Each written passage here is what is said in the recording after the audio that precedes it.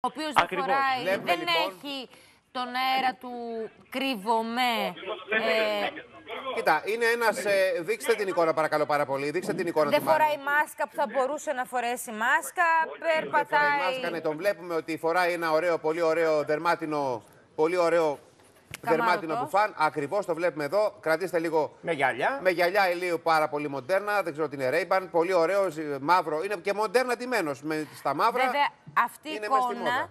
Έρχεται σε αντίθεση με αυτά που ακούσαμε την ώρα που ο Ισίδωρος μας έδινε το ρεπορτάζ. Δηλαδή, από ό,τι καταλαβαίνω, Ισίδωρο, ο κόσμος ε, αντιμετωπίζει το Μάνο όπως αντιμετώπισε και την ε, Ρούλα, η οποία για διαφορετικούς λόγους βρέθηκε Η στην Ρούλα είναι ανακρίτρια. κατηγορουμένη αυτή τη στιγμή, έτσι. Όχι. Κατηγορείται για τη Γιατί, δολοφονία του πάλι παιδιού δο- της. γιατί άκουσα το Μάρος δεν δολοφόνη. κατηγορείται για Λάθος κάτι. άκουσα. Ναι, εγώ λέω για τον κόσμο. Ναι, ναι, ναι, ναι Το αυτό ακούσατε; κατάλαβα ή; τι ρωτάς.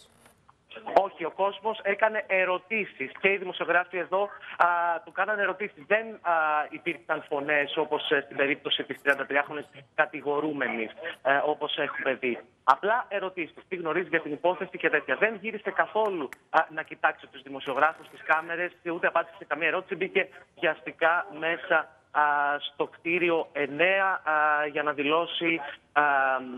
Α, Αυτή η για να παράσταση δηλώσει- πολιτικής αγωγής φαντάζομαι είναι μια ολιγόλεπτη διαδικασία. Δηλαδή δεν θα μείνει ώρες μέσα, δεν έχει να Ακριβώς, καταθέσει ναι. κάτι. Το πολύ Ήτανε 10 λεπτά. 10 λεπτά, άρα θα ξαναβγεί πάλι σε 10 λεπτά. Ήταν προγραμματισμένο το ραντεβού, Ισίδωρε, ή ήταν κάτι έκτακτο, ας πούμε, δηλαδή πήγε εκτάκτος από μόνος του ο Μάνος. Ήταν, ήταν προγραμματισμένο ραντεβού σύμφωνα με πληροφορίες. Από νωρίς το πρωί γνωρίζαμε ότι στις 12 α, θα καταστάσει ο Μάνος Δασκαλάκης.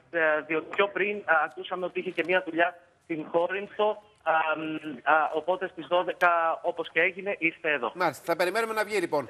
Θα θα πάμε στη διαφημίση για να περιμένουμε τώρα το γύρισμα της διαφημίσης να βγει ο, ο Μάνος.